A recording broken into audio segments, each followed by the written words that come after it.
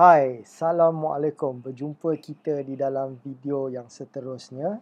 Alright, video ni uh, saya nak ceritakan kepada korang step by step macam mana nak daftar akaun seller eBay. Pada korang yang dah ada akaun, korang boleh skip video ni tapi katakanlah mungkin korang terlepas step-step yang penting, korang boleh lagi edit profile korang dan ikut balik step yang ada di sini. Okay? Tapi uh, pada korang yang belum lagi buka akaun eBay lebih baik korang ikut step daripada apa yang saya nak tunjukkan di sini ya. Okey, jom kita tengok. Alright, uh, untuk daftar eBay ni, okey, korang kena masuk ke uh, eBay Malaysia. Kalau macam korang tengok link yang saya letak di sini adalah ebay.com.my. Okey, ini adalah untuk eBay di Malaysia. Tapi tak kisahlah kalau korang masuk ebay.com ke ebay.co.uk ke .au Australia ke di mana-mana korang masuk pun eBay akan detect IP korang dan dia akan bawa korang ke eBay Malaysia dan korang kena berdaftar sebagai seller eBay di Malaysia dulu. Okay? Alright. Selepas korang dah uh, register account dan korang nak jual bukan pada orang Malaysia definitely sebab eBay ni dia lebih kepada orang luar negara daripada orang Malaysia kan. So jadi korang nak jual di US. So bila korang nak jual di US, korang kena letak dia URL uh, web korang ebay.com dan di situ baru korang start buat jualan. Kalau korang nak buat di UK contohnya, korang kena masuk ebay.co.uk, uh, Australia, uh, Europe dan sebagainya, korang kena letak uh, URL yang betul lah. Okay? Uh, tapi buat masa ni saya lebih recommendkan korang fokus hanya pada United States terutama sekali kalau korang barulah. Okay? Alright. Dan bila korang masuk di ebay.com ke ebay.co.uk ke, alright, korang tak perlu daftar balik. Okay? Korang just guna balik username dan password yang korang dah daftar di eBay Malaysia untuk jual di negara yang lain. Okay? So, jom kita tengok uh, step untuk nak register eBay. Taklah uh, susah juga. Cuma adalah benda-benda yang korang nak kena buat. Okay? So, kita pergi ke browser dulu. Right? So, macam saya kata tadi, ebay.com.my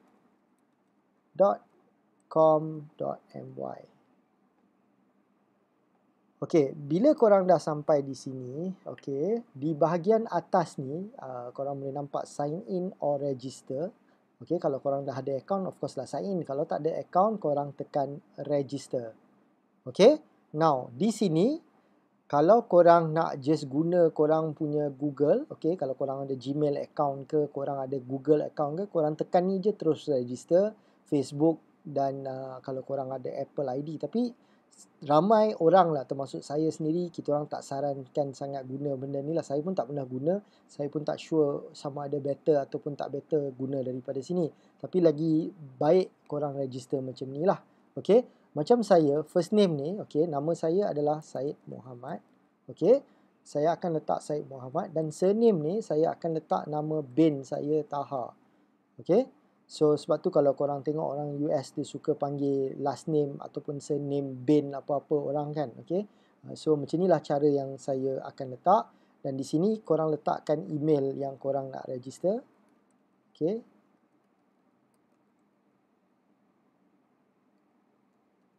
Okay dan lepas tu korang letaklah apa-apa password. Contohnya macam ni. Okay. Saya buat 1, 2, 3, 4, 5, 6, 7. Korang boleh tekan tick ni untuk korang nak tengok. Okay. Lepas tu uh, korang nak receive marketing ataupun tidak tapi lagi baik just stick sahaja supaya korang boleh tengok kadang-kadang dia ada update dia yang penting ada benda-benda yang dia tak benarkan untuk nak jual ke apa ke at least korang dah aware uh, mana tahu korang tengah menjual barang tu sebab ada kadang-kadang item dia benarkan korang jual dulu lepas tu tiba-tiba dia tak benarkan okay? so jadi korang kena tengok juga benda-benda macam ni adalah penting okay? dan kemudian uh, korang boleh klik butang uh, register ni uh, dan korang boleh uh, register. Okay. Tapi saya tak boleh nak register benda ni disebabkan saya dah register.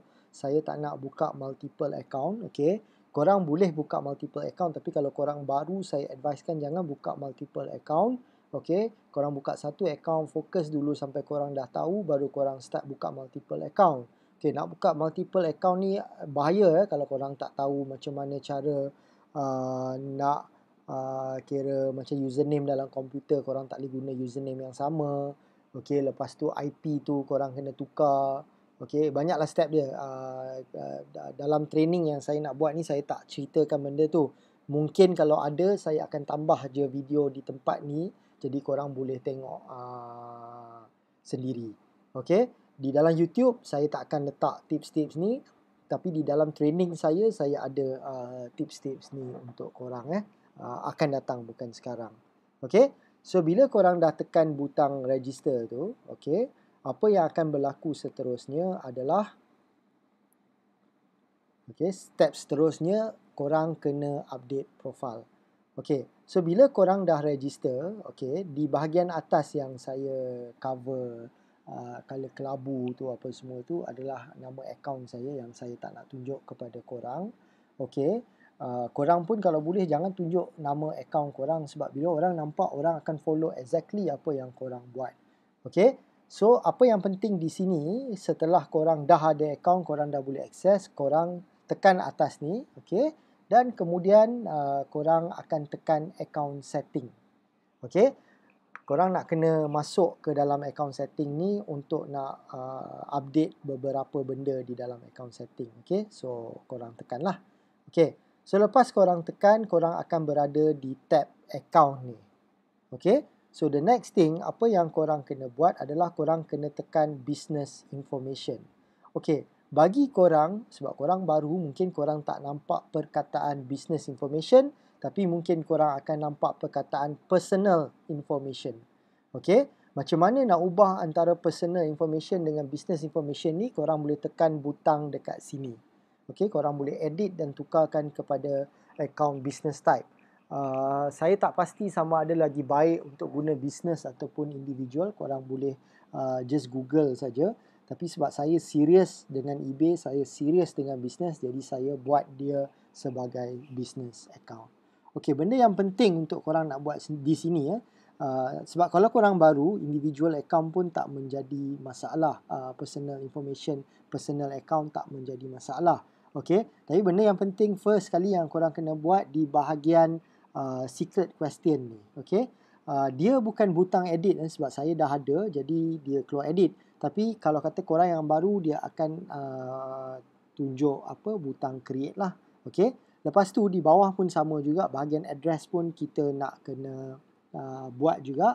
So dia ada apa butang create lah bukan butang edit. Okay. Seperti yang di dalam kotak merah tu saya kata create secret question dan address. Okay. Pastikan korang ada bill elektrik address yang mana korang nak letak. Okay. So jadi korang pastikan korang ada benda tu. Okay. Kalau IC korang uh, tempat lain Uh, rumah korang duduk tempat lain yang penting sekali tu adalah bil elektrik yang korang nak kena berikan kepada eBay nanti. Okey dia akan minta pada korang. Alright. So ini adalah benda-benda yang penting yang korang nak kena buat. Okey macam uh, first gambar yang ada pick your secret question. Jadi korang boleh select dia ada drop down tapi korang kena buat tiga lah. Dia ada question satu, question dua, question tiga. Okay, kalau korang nak letak macam apa yang ditunjukkan di sini, first company you work for, mungkin korang kerja dengan, uh, uh, katakanlah korang kerja dengan uh, Facebook ke, company Facebook, korang letaklah Facebook ke, apa-apa yang korang tahulah ini supaya soalan nanti uh, terlupa apa-apa benda, dekat sini dia akan tanya soalan ni, korang patut boleh jawab. Okay, uh, then the next one is uh, address korang lah. Jadi korang kena letak address yang betul dan korang ada bil elektrik tu. Okay? Dan di bawah tu ada phone number. Korang kena letakkan phone number yang betul sebab dia nanti uh, akan hantar verification. Korang kena verify. Ada setengah kalanya dia tak hantar. Okay? Tapi selalunya dia akan hantar. Jadi korang pastikan letak nombor telefon yang betul. Alright, so kalau dia minta, okay, di sinilah ruang yang korang kena masukkan kod yang korang dapat di telefon korang SMS tu dan korang tekan butang continue. Okay, now setelah dah selesai benda tu, okay, korang pergi balik ke account tab di atas seperti awal-awal tadi.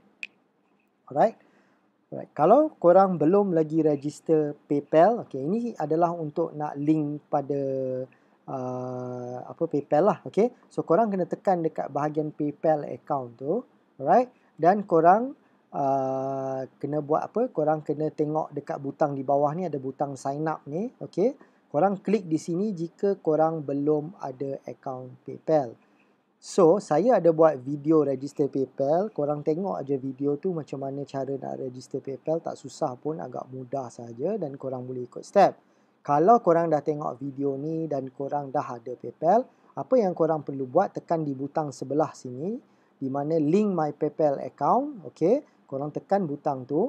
Lepas korang dah tekan butang tu, dia akan keluar satu tempat ruangan kosong di mana korang boleh letakkan uh, email address yang korang dah register di PayPal. Lepas tu korang klik continue dan sebagainya. Dekat situ dia akan update uh, PayPal korang. Maknanya korang dah ada PayPal dan dilinkkan kepada uh, eBay korang. Okay? Alright. So next apa yang korang nak kena buat? Korang nak kena aktifkan uh, untuk seller account. Okay, korang dah buat semua benda step tadi tapi account seller korang ni belum aktif lagi. Right? So ini adalah step-step untuk korang nak aktifkan. Okay. Sekali lagi korang kembali ke account setting macam mana saya tunjuk dari awal video ni. Okay. Di account setting tu kalau korang turun ke bawah, okay, dia ada satu butang yang dia panggil automatic uh, payment method. Okay. Korang kena tekan automatic payment method ni. Okay. Dan dia akan buka satu screen. Dan di screen di sini ni. Uh, untuk Malaysia selection hanya ada credit card atau debit card. So tak kisahlah korang nak pakai uh, credit card ke atau debit card ke korang boleh pakai. Okay. Tapi kalau boleh di dalam debit card tu pun uh, pastikan ada lebih kurang dalam RM50 di dalam account korang. Sebab macam PayPal, uh, uh, macam saya tak pasti eBay sebab saya tak ingat dah lama saya register kan. Uh, dia ada slight charges tak yang diorang akan buat dulu dan diorang akan refund balik lah macam mana pun. It's just that better ada duit, okay. Dan korang juga kena call bank korang kalau korang ada Maybank, korang kena call bank korang uh, untuk allowkan uh, pembelian di luar negara.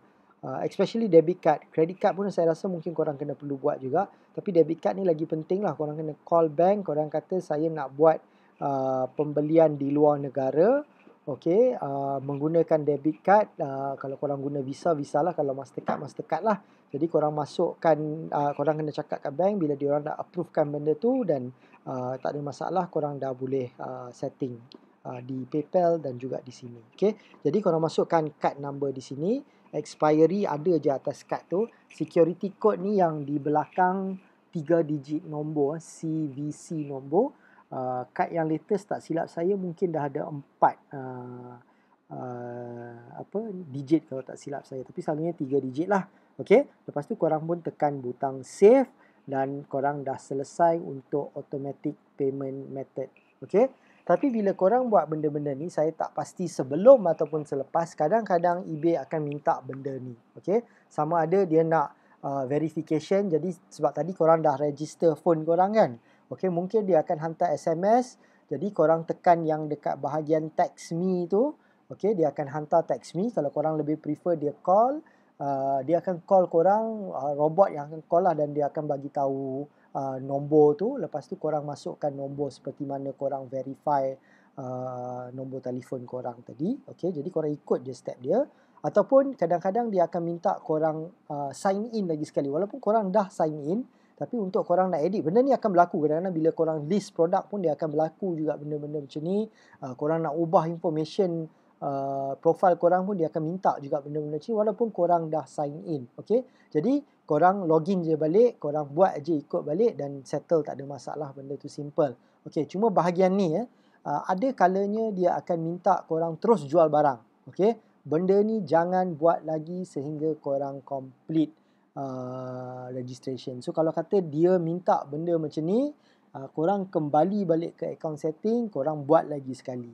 Okey? Alright.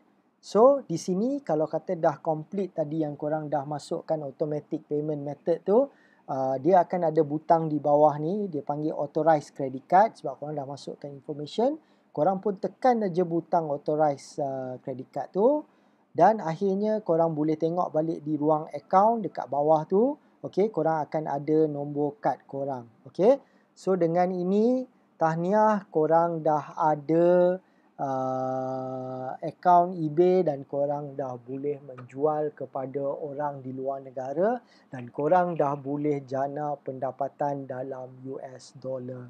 Okay, best guys dapat income dalam US dollar. Okay, orang semua terkejar-kejar uh, buat benda di Malaysia. Uh, banyak benda lah kalau kita tengok dari segi produk-produk kesihatan ke apa-apa kan yang diorang jual. Nak kena masuk dalam WhatsApp nak kena PM nak kena menjawab soalan nak kena buat macam-macam. Lepas tu income dapat dalam ringgit Malaysia. Di sini tak payah PM tak payah cari orang tak payah cari traffic. Semua benda dah ada siap untuk korang. Cuma korang kena tahu cara cari hot product. Korang kena tahu cara buat title. Ada je video yang saya buat. Korang tengok dekat situ. Lepas tu korang tunggu insyaallah sales datang macam tu sahaja. Okey alright? So itu sahaja untuk video kali ini kita jumpa lagi di video-video yang akan datang. Assalamualaikum. Jumpa lagi